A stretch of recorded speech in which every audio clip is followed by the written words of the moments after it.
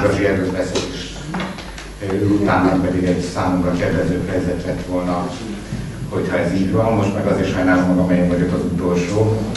De hogy megvigasztaljam a hallgatóságot, Sztálin eltársnak természetesen igaza volt, mert a kommunisták ezt törőjük, de baloldaliak különlegesen nem volt. Vannak gyúzva, és még mindig itt vannak, és nagyon szépen köszönöm, hogy engem is meghallgatnak. Az én témám a két elmaradt eh, modellváltás címet viseli. Nem akarnám sokáig fokozni az izgalmakat. Mit értek két elmaradt modellváltás alatt tisztáznám. Először az első, amiről fog beszélni, az az 1984 és 89 között elmaradt modellváltás, és a második, ami a 2002 és 2008 között elmaradt. Az első elmaradt modellváltás helyett egy rendszerváltás következik. A második elmaradt rendszerváltás, rendszerkorrekció, modellváltás helyett egy rendszer konzerváció következett be, amit a baloldali liberális kormányzat hajtott végre 2002 és 2010 között. Mi lett volna az első modellváltásnak a lényege? Nagyon leegyszerűsítve, emlékezzünk vissza, erről már volt szó, egy szocialista vegyes piacgazdaság, melyben az állami vállalatok között verseny van, a kisvállalkozók szabad, szabadon működnek, kereskedelmi bankok vannak, konvertibilis a forint, és a kollektív tulajdonlás, a vállalati tanácsok révén valamikor megvalósul. Ez lett volna a szűkebb gazdasági területen a modellváltás. A szociálpolitika, társadalompolitika területén az univerzális állami polgári jogon eh, járó ellátásokat kiegészítette volna a rászorultság ez lett volna szerintem a modellváltás, ahogy akkor a koncepciót megfogalmazták. Fontos eh, motivuma, és a harmadik a politikai szférában a monopolisztikus hatalomgyakorlás egy hegemonisztikus hatalomgyakorlás váltott volna fel. Erre a párton belül a 80-as években megindult egy folyamat, a többes jelölések először a megyei párbizottságok vezetőit megpróbálták többes jelölést kiválasztani, utána a parlament szerepét megpróbálták növelni, a szakszervezetek szerepét, és végül is a párt és az államok megpróbálták jobban szétválasztani. Ez lett volna a modellváltás, amennyiben kifut ez a rendszer. De, de az MSZP akkori vezetés és elsősorban Kárpány János fölmérte azt, hogy ez a fajta reform súlyos társadalmi konfliktusokkal jár, az erőviszonyok átrendeződésével, vélhetően strukturális munkanélküliséggel, ezt pedig nem lehet eh, elviselni, és ezért 1984-ben utat engedett a reformnak, de ugyanakkor egy olyan gazdaságpolitikát hirdetett meg, egy növekedési eh, politikát, aminek eh, következtében az eladósodás két év alatt megduplázódott, és az akkori nemzetközi pénzügyi világ feltételek és politikai feltételek mögött közel elviselhetetlenül vált. Ezáltal, itt most Görec Józsefet is idézném, a korábbi gazdasági, politikai függési helyzet megváltozott, elsősorban a keleti függés, ami szép már a 60-as, 70-es évben is kezdett átalakulni. Egyértelműen a Magyarország a gazdasági függésbe került a nyugattól, a 80-as évek második felére, sőt, az IMF és a világban hitel ráutaltsága miatt politikailag is eh, függésbe került, és ez egy új helyzetet teremtett. Ehhez jött az a másik oldalról, hogy Gorbacsov a Szovjetuniót eh, megpróbált egy, ugyancsak egy modellváltás felé terelni, aminek a eh, útját ismerjük, ezzel nem akarni sokáig foglalkozni, a mi számunkra, ami nagyon fontos, hogy 86-tól a Brezsnyev doktrinát gyakorlatilag visszavonta, ezáltal az a politikai ernyő, amit a szovjet katonai és politikai hatalom jelentett, elcsúszott a Magyarország felül, felől, amit, amit csak is egy reform, illetve egy külföldi működő tőke bevonással lehetett ellensúlyozni, erről volt szó. Miközben ugyanakkor a tekintélyvesztésre ennek a hatalomnak, mármint a kádári hatalomnak, az MSZNP hatalmának amiatt, hogy 1973 és 1986 között, tehát több mint egy évtizeden át képtelen volt egy új útra vezetni az országot, ez elég erőteljesen következett. Ami azonban a modellváltás számára és a rendszerváltás problematikára nagyon-nagyon fontos, ekkor a, az ekkor kialakult, a 70-es, 80-as években kialakult új elit és új közép számára a modellváltás már kevés volt, a vesztesek számára és a végigszűzők számára pedig a modellváltás is sok volt. Ebből következett a rendszerváltás alapképlete, amit kiegészített a kelet-európai dominó eldövése 80 A párton belüli is folytak a politikai harcok, ennek a lenyomatát a mai délelőttön láthattuk. Én ezt teljesen természetesnek tartom, hogy egy párt rendszerben meg kellett jelenni az összes társadalmi és politikai konfliktusnak ez elkerülhetetlen. Így tehát egy rendszerváltás következett be, mert hogy elfogyott a tévé, a levegő, az energia a modellváltás körül és előtt. Az a kérdés, fölmerült élet, hogy szükségszerű volt-e ennek nyomán a rendszerváltás vagy sem.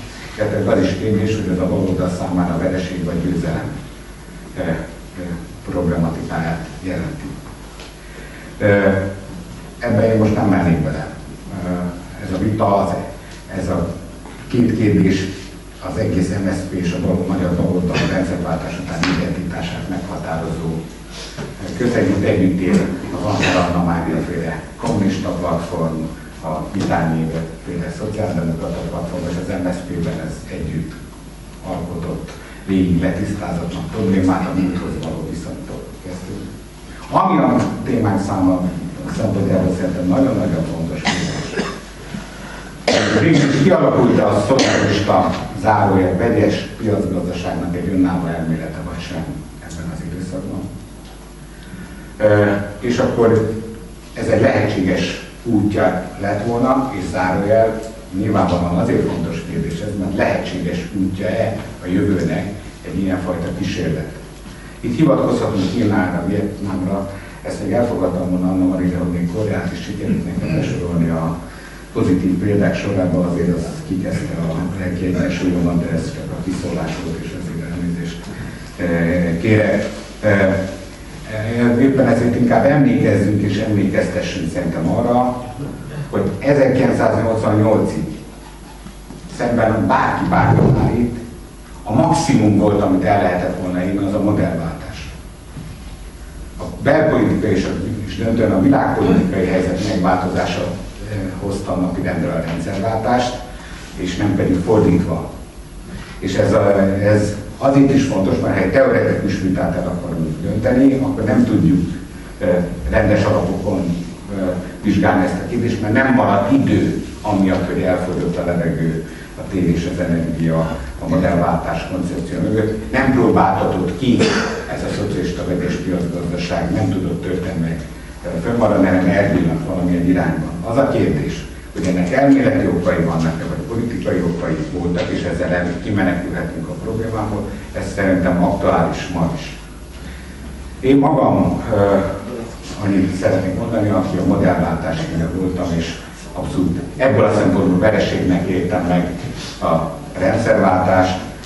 Írtam egy könyvet a Kádár rendszer kritikai jellemzése volt a tartalma, és az volt a célja, hogy megalkozzon egy modellváltó koncepciót, ami azonban teoretikusan, és itt kritikát fognak hallani, nem tudott válaszolni három nagy kérdésre a modellváltás kapcsán. Az első kérdés az volt, hogy lehet-e a normális piacgazdaság a magántulajdon dominancia nélkül, lehet-e a politikai szabadság több pártrendszer nélkül, lehet a szocializmus egy országban.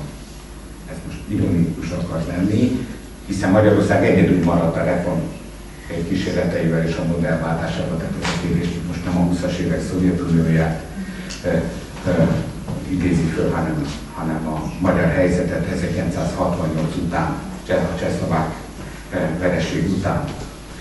Ha erre a három, én őszintén szóval erre a három kérdésre nem tudtam válaszolni, és én rosszul válaszoltam, ez egy, ezzel nem akarnék tovább foglalkozni. Azonban, ami nagyon-nagyon fontos, és nagy tanulság, hogyha egy társadalom alapvető döntő többsége nem ért egyet a politikai, gazdasági és kulturális intézményrendszerben, akkor semmilyen modell nem tud normálisan működni, mert nem létezik az a legfelgyorsultabb világban sem, hogy négy-öt évente választásokon az alapvető rendszer egészét akarják kidobni, vagy éppen újraépíteni. Ezt nem bírja ki semmilyen rendszer, akár diktatórikus, akár demokratikus rendszer. Tehát ilyen körülmények között, gyenge erőviszonyok között a centripetális és centrifugális erők, amik egy szociális, szocialista vegyes piacgazdaságot létrehozhattak volna, megszűntek.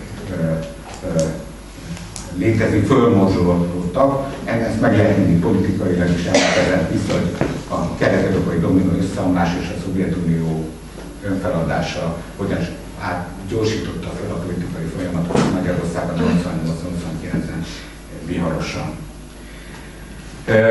1997-ben lezárult a rendszerváltás, szerintem igenis lezárult a rendszerváltás, és az MSZP-SZDSZ koalíciónak a feladatául jutott az, hogy lezárja a rendszerváltás, és, le, és megpróbálja oldani azt a válságot, amiben Magyarország a rendszerváltás után gazdaságilag és társadalmilag belekerült.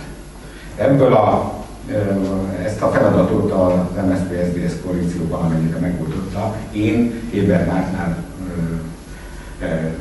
megértő vagyok, TOR résztvevője. Én azt látom, hogy történelmek akkor nem nagyon létezett más alternatíva, amit igazodni a washingtoni konszenzus kritériumaihoz, és csinálni ezt a folyamatot.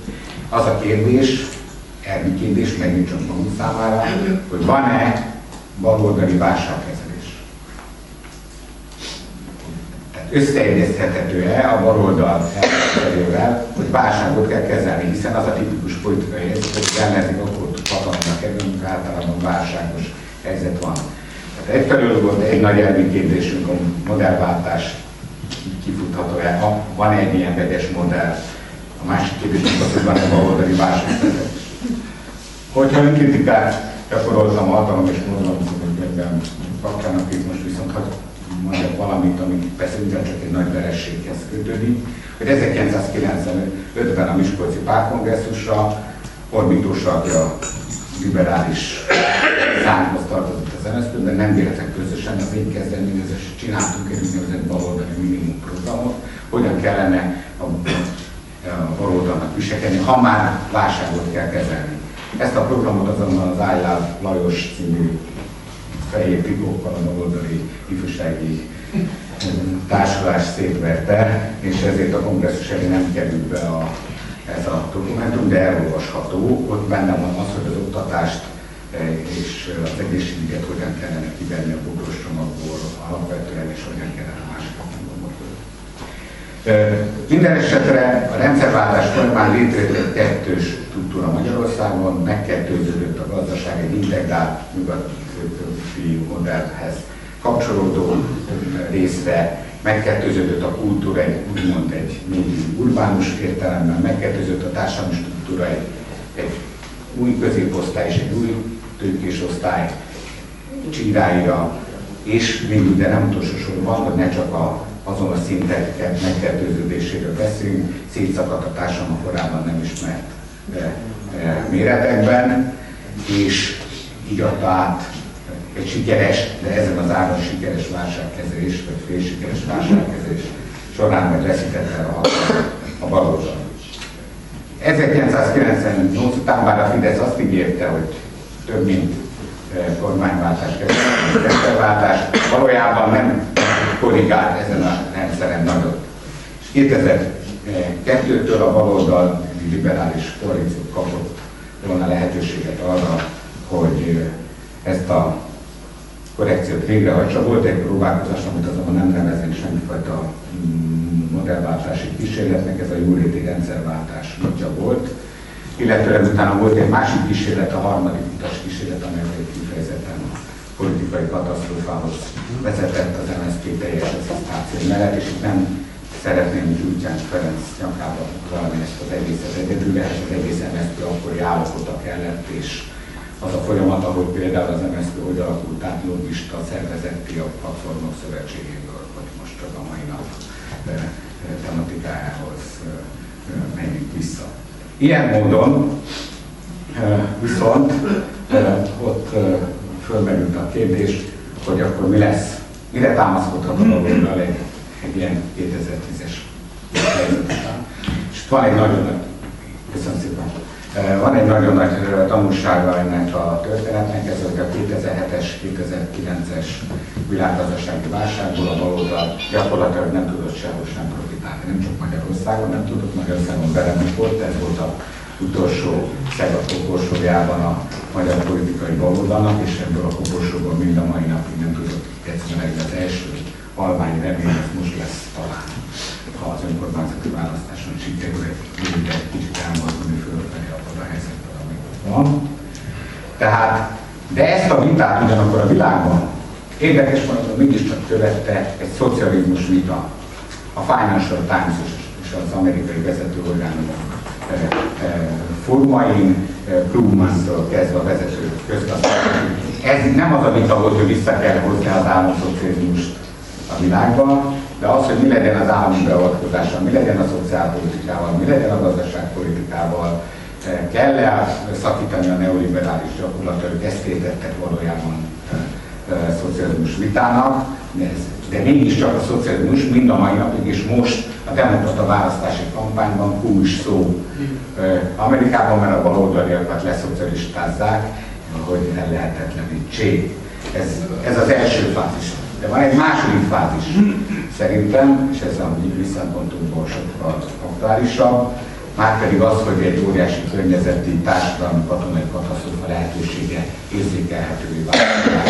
Ebből lehet tudni vonni a tanulságot, és ettől itt jön a előadásnak úgymond a logikai lezárása remélem szerint világosan követhető. Eléggé a modellváltás, vagy készülni. A Jacobs Matsukától szerzőpáros, illetve szerkesztőpárosnak a Kossuth is megjelentette a kapitalizmus újratervezése című kötetet. Ez a van a verzió, vagy a szocializmusnak, mint a, a teljes tagadásnak, a, a kapitalizmus teljes tagadásának a alternatívája. Rendszerváltás vagy modellváltás. Én azt gondolnám, hogy nem az a döntő, hogy vissza akarjuk állítani a marxi szocializmusnak a, a, lényegét, akkor járunk el a marxi szocializmus ilyen, hogyha a mai viszonyok között megpróbáljuk megtalálni azt az utat, hogy a világot hogyan lehet kivinni ebből a dologból, és igenis nem állítanám szembe a rendszerváltás, modern váltás vitát, hogy szétszakítsuk a vita kezdetén a, a, a úgymond a baloltat, vagy az útkereső csoportokat, hanem igenis ezt a vitát le kellene folytatni, hiszen ott lebeg előttünk, a, amit a Hugo úgy mondott, és én is így írtam le, már amikor a előadásomat terveztem, hogy a diktatúra vagy a katasztrófa fenyegetés előtt van egy másik megoldás. Azonban itt elhangzott, hogy a kapitalizmus már erősebb, mint volt valahol. Miért? Azért, mert 8 milliárd ember kellett nyithatni, és be van járatva ez a rendszer, és ebből nagyon-nagyon nehéz kivinni. Tehát nem egyszerűen ideológiai csata, hanem ehhez valóságos politikai feltételek kellenek, mint ahogy kellettek volna itt 1980-as években is, amikor éppen elfogytak egy reform, egy modellváltás mögül, tehát ezért újra kell szerveződni ezen az értékrend, ennek az értékrendnek az alapján, vagyis nem lehet pusztán elvi vitát folytatni, hanem ö, szerintem oda kell figyelni arra, hogy a globális térben a nagyjátékosok és a kis, kisjátékosok, kis nemzetek milyen utat követhetnek, és akkor ebből lehet kihozni azt, hogy a világban mindenképpen szerintem, a világpolitikában mindenképpen a világ politikai modelljét meg kell változtatni, hogy csak közös erővel lehet, de nem lehetek a nemzeteken kívül tenni ezt, hanem csak a nemzetekkel együtt lehet végigvinni a vitát. Nincs sok nagyon idő, ezért meg is van a szerepe mindenkinek ebben. Köszönöm szépen!